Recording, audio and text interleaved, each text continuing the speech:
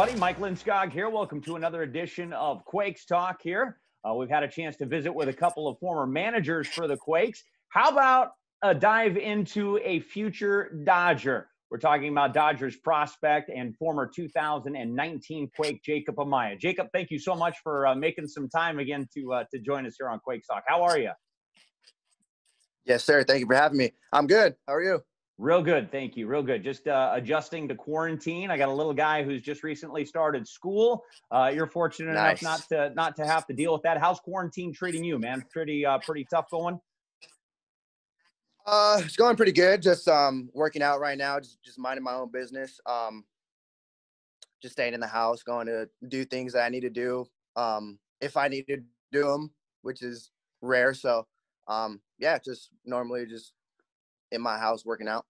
I, I can't imagine uh, being a player right now in, in the minor leagues and, and having your season totally disrupted. Uh, guys that are, uh, you know, baseball players, it's all about routine. It's all about rhythm, and, and your rhythm and your routine has has completely been disrupted. You, you don't have a season. You don't have necessarily adequate workout facilities uh, to stay sharp. What is what is a minor league player like yourself? Uh, how, how do you keep focused and, and stay sharp uh, during the month of August? Um, I guess pretty much just trying to do things that fit you. Um, you know, you talked about routine, and that's a huge thing. You know, if I knew that uh, going into pro ball, um, my body would be. I mean, it's uh, it's not in bad shape, but it would be better than what it is now. Um, not having a routine is makes me thrown off a little bit because if I don't do something that I did the day before and I did good that day, then and and if I don't do my routine, then I just feel off, way off. So routine is huge for everybody. I guess I could talk on. I could talk for a lot of baseball players out there. So Uh, Yeah. I'm not sure what you're doing for uh, for a workout facility, a home gym per se, but uh, you know, during the minor league season, obviously staying in shape is, is such a big part of it. Going to the ballpark and, and getting your work done, whether it's in the batting cage or on the field, uh, that's just that's what you do.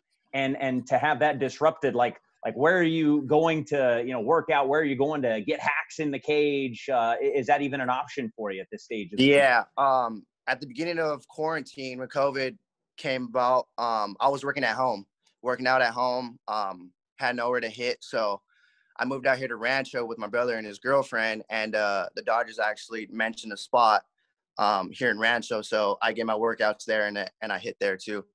Very limited Fantastic. people.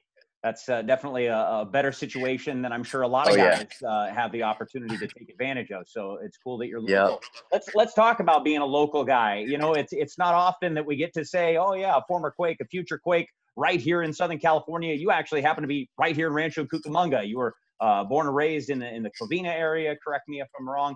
Uh, but you know, somewhere down there near uh, the APU campus, which of course they're a big partner of ours. Uh, you had an opportunity to uh, to grow up here in Southern California uh, not only rooting for the Dodgers, but your family's got some amazing Dodger ties that I'll let you touch on. Uh, it's it was so neat for our fans, our staff, uh, and, and for the guys uh, to be able to welcome a local player last year. You spent the month of August with the Quakes, um, and and of course had some really memorable moments. One of which in the playoffs that we'll address here in a moment. Uh, but as a as a local kid that's that's coming to Rancho that at least knew of the Quakes growing up, maybe not necessarily coming out, you know, uh, every season to visit, but you, you knew who the Quakes were, and of course their deep ties with the Dodgers over the last ten years. Tell us how special it was to be able to play in front of so many family and friends last year in, in Rancho Cucamonga and represent the Dodgers at the same time. Uh, definitely special. Um, knowing how much support that I have coming back home, um, to the people who support me, thank you. Um, but uh, yeah, it feels good to come back and uh, do what I love to do in front of those people. Um, they've been there, you know, since the start. So I mean, the least I can do is just come back and try and put on a show, which I try to do for everyone. So um, yeah, it feels good. Um, couldn't have asked for a better better turnout for me. So um, yeah, I guess that's just the bigger the bigger uh thing to this is just having so much support behind me. Yeah, through through no fault of their own. I'm sure not a lot of them had the opportunity to to go to Great Lakes, Midland, Michigan, to watch you as a loon. Uh, to to go from playing for the Loons on a on a Tuesday to playing for the Quakes on a Wednesday or Thursday with so much uh, fan support behind you. Yep. It got it got a little rowdy out there with the Jacob Amaya fan club. It was awesome. It did. I'll, I'll I'll be honest. I'll be the first. It, that was the first time ever being nervous. I remember. Uh, I remember a, a fly ball was hit to me at second, and um, I think I moved like to my right a little bit, and the ball was like way to my left, and then I went up and I went left, and the ball like I caught it behind me. I was I was tripping out. well, it's uh, it's got to be an amazing feeling to have that kind of support behind you, though, because uh, the signs were there, the people was there, the energy and the noise was there. Uh, oh, yeah. and so many of them were specifically there to see you. Uh, no and, doubt. obviously, we we as the Quakes uh, gained a lot of that uh, benefit with the support for the the entire team, and it was just it was an awesome environment. So props to your family and friends for for coming out, representing, and, and getting Yep. behind Jacob Amaya. So Thanks cool. to them for sure. I want to talk about your Dodger ties. You grew up a Dodger fan, and it's not just because you lived here in Southern California. Your family has some really neat roots uh, tied to the Dodgers organization as well. I'll let you touch on that. Yeah, my my grandpa played with the Dodgers uh, in 55 to 58. So um, I mean, how all this went down, you know, couldn't have asked for a better turnout again. So um, yeah, just trying to keep that that bloodline going. Um, got some shoes to fill, you know, so just trying to do that and uh, just trying to push with with everything I got. Mm, Your family must be Coming from him. yeah, very proud, very proud. Um, Starting with him. Obviously with you guys uh, representing the Dodgers here and, and you being a Dodger fan and what have you, um, you know, you had committed prior to being drafted to go to Cal State Fullerton, which is, is a phenomenal baseball program, uh, one of the elite uh, at, at the college level, in my opinion, and, and certainly um, it, it had to have been uh, at some point a, a difficult decision. Or, or was it at all? I mean, a storied program with Cal State Fullerton and a college lifestyle ahead or go to the franchise that you've grown up with and, and rooted for? How tough was the decision uh, to commit to the Dodgers rather than go to college? Um, it really wasn't a tough decision. Um, baseball is something that I've wanted to do all my life. Um, that was kind of that was kind of built in me when I was young. So um, I knew. I mean, I mean, I'll be the first to tell you that I'm not a school guy, so didn't really like school. I just wanted to play ball every day. So um, wasn't really a tough decision. It was pretty pretty quick one, I would say. So um, yeah, I would I'd definitely rather hit and catch balls than write on paper. So Right on. I hear that, man. I hear that. Some of us aren't aren't lucky enough to be able to make that decision. So I'm Right. glad that's worked out for you, and uh, and I know you're going to be successful long term. Let's talk about last year uh, a, a little bit a- as a Quake. There's there's one memorable game that uh, that I know that uh, everybody that was there certainly uh, has a has a fond memory of. Uh, it was in the playoffs. It was Game Three. Uh, unfortunately, uh, in a best of five series, the Quakes were down 2-0, coming home to Rancho Cucamonga and LoanMart Field uh, to a fantastic crowd. Uh, Quakes were down a run in the bottom of the ninth inning, and pinch hitter Starling Heredia came up there and, within the blink of an eye, first pitch swinging as a pinch hitter, destroyed a ball down the left field line. With you in the on deck circle, you are now heading to the plate in a tie game. Uh, talk about that moment for Starling Heredia. We had the opportunity to visit with Mark Kertenian here a couple of weeks back, and that's one of his more uh, fond memories as a manager for sure. He said, you know, not only was the house going insane, but the dugout and the energy uh, around the guys was was just incredible. As the Yeah. on deck hitter, seeing Yeah. Starling do what he did and tie that game as a pinch hitter. Talk about uh, that moment. Uh, I mean, I'll keep saying it forever, and I think we'll all keep saying it. That ball still hasn't landed. Whoever was there and saw that ball. Um, no, but yeah, seeing him, seeing him uh, jump up from the bench and uh, come into the game, no swings, no nothing, no stretching. Um, he came in and that that look on his face said it all for the whole game. Promise you that. Um, that guy came in and just did what he had to do. Um, every situation that I've been in, that one, like someone who's done some good before me, I've never I've never succeeded because I've always wanted to do more. So I've always I've always failed.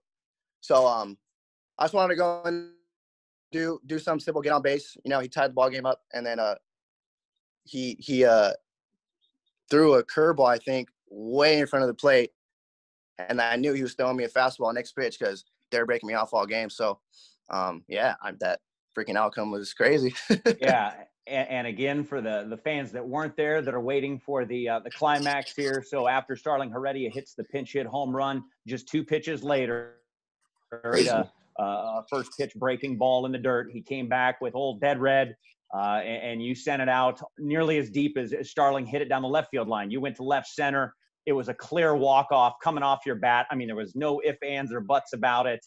Uh, and as you just suggested, and I know we've spoken in a previous interview, uh, you didn't feel like you had necessarily risen to the occasion in those truly clutch moments. This one was a walk-off home run. Uh, there's no there's no better moment and no better finish than that, my friend.